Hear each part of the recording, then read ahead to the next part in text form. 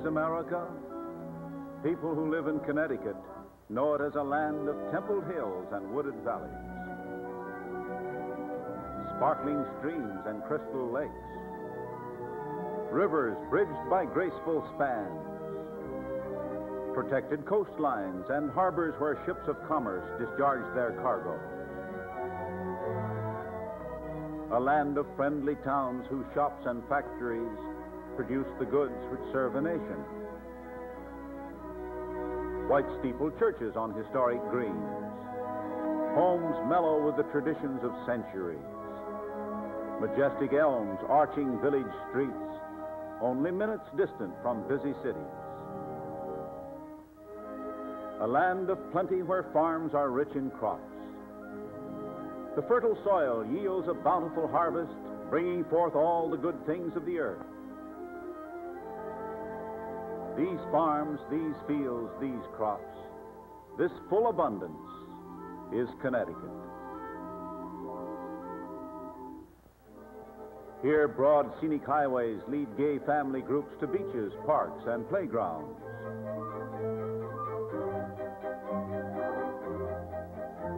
And here, the crowds which gather are a free and happy people. Fair play is honored by the nation. It's not who wins that counts, but how he plays the game.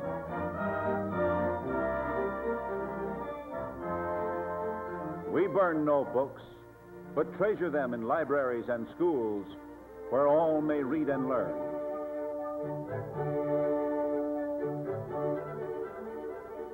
The ivied walls of universities endure as monuments to freedom of the mind.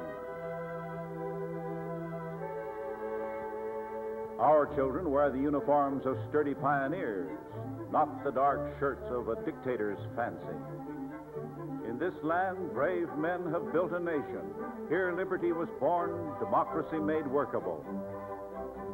Today, free men and women freely assemble to choose candidates for office to keep alive the process of democracy. Government of the people, by the people, for the people is the American way.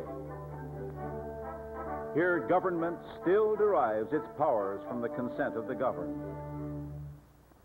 Freedom of press, freedom of speech, freedom of the airways, freedom of worship, these are America's precious heritage. All this is a, a way of life, a way that has been found good by generations of citizens, a way we are determined to preserve for those who follow, as it was preserved for us.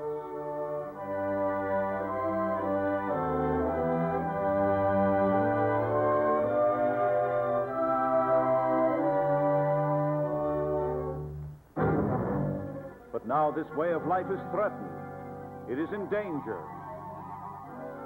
Wherever danger threatens or disaster strikes, telephone forces trained in defense of a vital service swing into action. They know how to get tough jobs done, how to overcome obstacles, how to work together. They know how to rush supplies to the scene of trouble, how to restore broken lines, how to speed calls through busy switchboards in times of stress. Today, as new storm warnings are raised, our country, our way of life must be defended.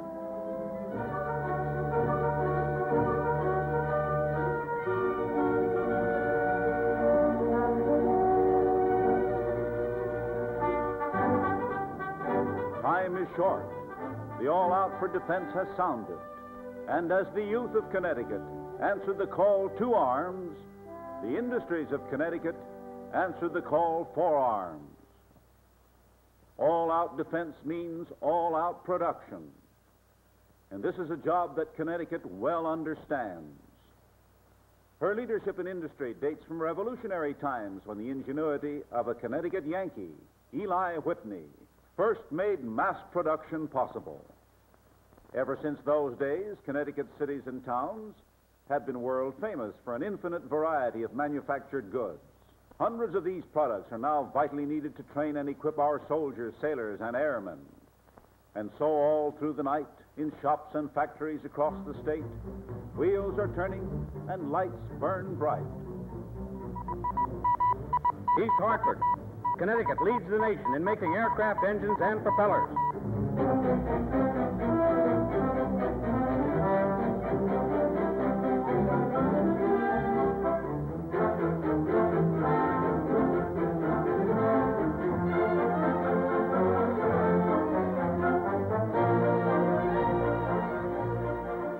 Hartford, gunsmiths answer call for guns, and still more guns. New Haven, forges hammer out the Army's new Garand rifle.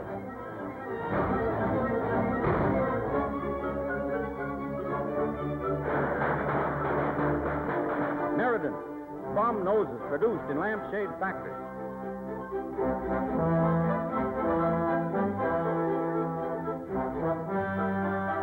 Bristol, springs for airplane engines.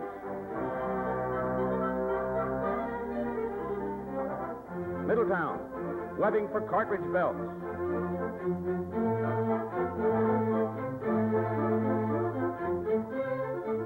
Bridgeport, electric cable for battleships.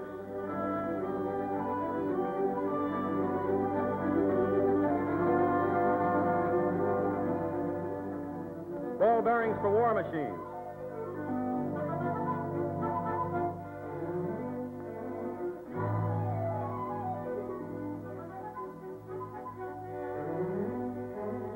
Of iron for casting.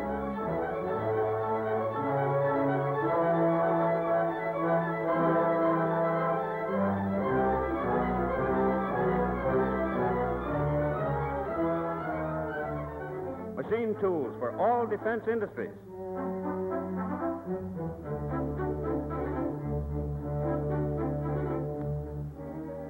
Connecticut factories help outfit our new army from head to foot. Nimble fingers at Norwalk fashion hats for mounted commands. While at Norwich, wool is carded, spun and woven into cloth for army overcoats.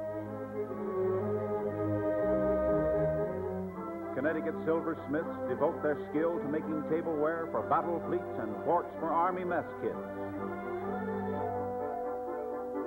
Connecticut girls economize on silk stockings, so mills like this one at Putnam can make silk thread for parachutes.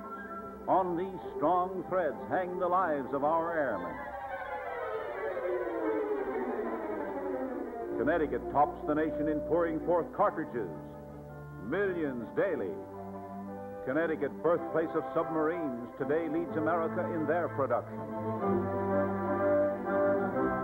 And Connecticut ingenuity works an industrial miracle in this plant near New Haven, which, emerging from a weed patch, is built, equipped, tooled, manned, and delivering machine guns in the amazing time of seven months.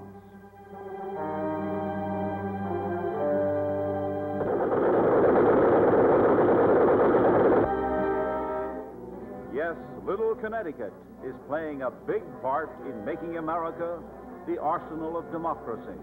Her industry today is racing the clock to fill a $600 million order for Army and Navy needs alone.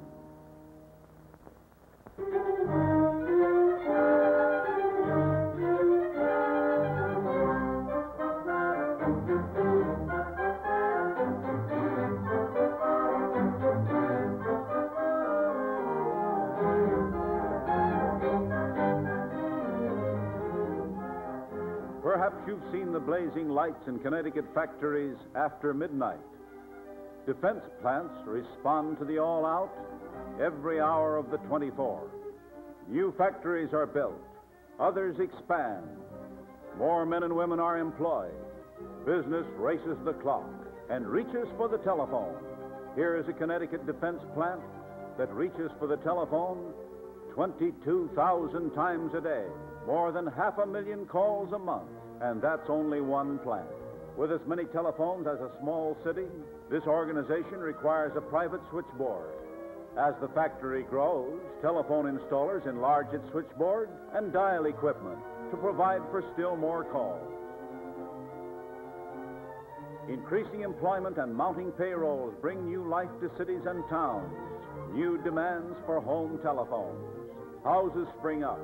Whole communities develop within a few months, like the vast housing projects for defense workers and their families in Hartford, New Haven, Bridgeport, and other cities.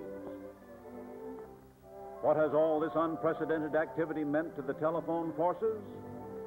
Let us look at some results. Three and a half million more toll calls are being handled by the Southern New England Telephone Company this year than last.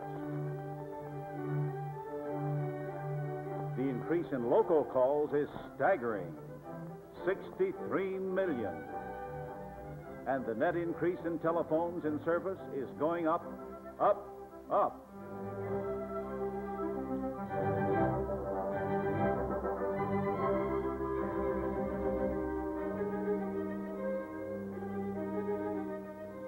Will happen in 1942?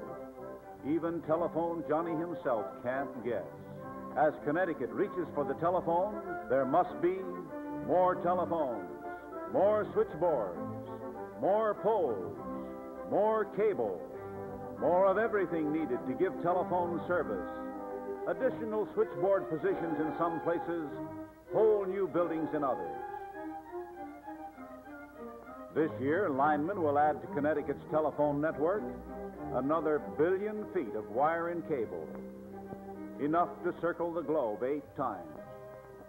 This means greatly increased expenditures for materials, for wages, for taxes. The Southern New England Telephone Company is spending for construction, maintenance, and operation two and a half million dollars every month. The Western Electric Company, the Bell System Service of Supply, provides vast amounts of the telephone equipment required today. This equipment flows in a never ending stream from Western's great manufacturing plants and strategically located warehouses. And research for more substitute telephone materials goes on steadily in the Bell laboratories. Telephone expansion means adding new employees and training them. Operators learn switchboard technique from skilled instructors. Recruits join the accounting force. Others are coached in business office work. In telephone schoolrooms, installers learn the ABCs of putting in telephones.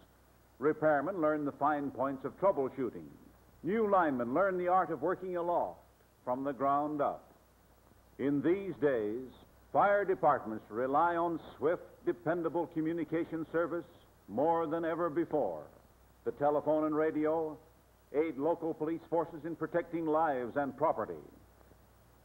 Teletypewriter and telephone service are invaluable to the state police and the FBI. Naval, military, and civic agencies require more switchboards, more telephones, and additions to the private branch exchanges of Connecticut's industries will serve 350% more telephones this year than last. In one Connecticut town, 2,000 acres of farmland were selected for transformation into an Army air base. We'll need telephones, said the Army. And like industrial and civilian telephone orders, this one called for careful planning by telephone engineers. Army officers and telephone men discussed the special requirements. Poles must be set, lines built, and cables spliced together to provide service while the base is still under construction. Engineers' plans become equipment installed by specialists. When the flyers take over, a made to order telephone system is ready for their use. As the telephone serves industry, so it serves the armed forces that guard industry from attack. Behind the scenes of this spectacular drama, at telephone switchboards and in central offices, men and women of the Bell system are doing their job providing the service upon which Connecticut and the nation depend. A service which must not fail. And speeding to the front lines of the battle of production are telephone men who work shoulder to shoulder with the Minutemen of industry, matching their skill and experience with that of other Connecticut master craftsmen.